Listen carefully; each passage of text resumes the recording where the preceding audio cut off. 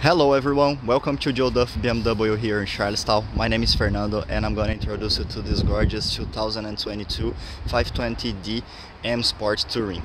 The car is finished in this beautiful black sapphire, so let's start on front. Here on front we have this beautiful black with silver kidney grills. We also have here LED headlights and spotlights and here on the side of the car we have this stunning 19 inches alloys.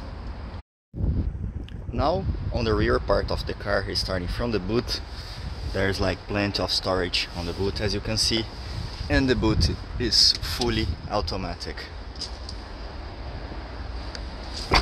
Here we also have the reverse cameras. Now in the interior on the back part of the car, starting from the seats, we have this beautiful black leather with the stitches in white as you can see and we also have here ISOFIX in all the seats for the convenience of the children and also central air conditioning and chargers for the cell phones. Now here on the front part of the car inside we have this multifunctional steering wheel with the cruise control on the left hand side. We have the controls from the radio on the right hand side. And we also have here the paddle shifts for the convenience of the driver on the sport mode.